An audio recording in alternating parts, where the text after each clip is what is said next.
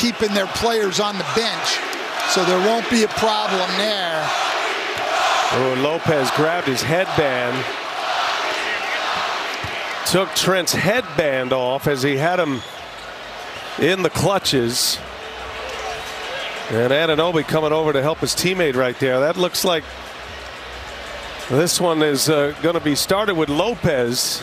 And the officials were certainly want to go take a look at this. You really, you can't take somebody's headband off. I wouldn't think